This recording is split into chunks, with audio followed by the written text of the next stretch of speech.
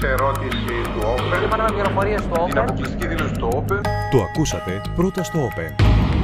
Την αποκλειστική δήλωση του Ρωσικού Υπουργείου Εξωτερικών στο Όπεν και ειδικότερα την αναφορά σε διαθεσιμότητα της Ρωσίας να μεσολαβήσει μεταξύ Ελλάδας και Τουρκίας, Σύμφωνα με τις πληροφορίες μας υποχρεωτική η χρήση της μάσκας σε όλους τους κλειστούς χώρους. Το ακούσατε πρώτα στο όπεν. Είναι γεγονός. Open. Το ανοιχτό κανάλι.